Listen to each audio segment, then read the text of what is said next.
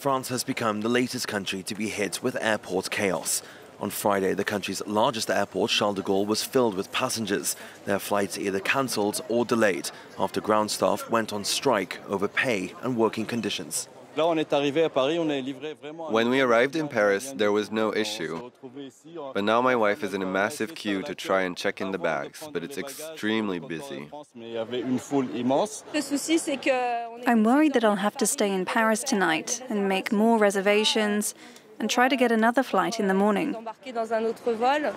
In total, 17% of flights were cancelled in and out of the capital. Passengers were forced to walk their suitcases up the slip road to the terminal as those on strike shut off access roads. They're demanding a 300 euro pay increase to combat rising inflation and post-pandemic short staffing. Aujourd'hui, les passagers sont revenus. Passenger levels are now pretty much back to how they were pre-COVID.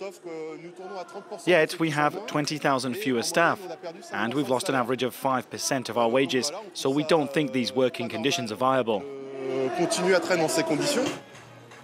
The disruption is set to continue for now, with industrial action scheduled for the whole weekend.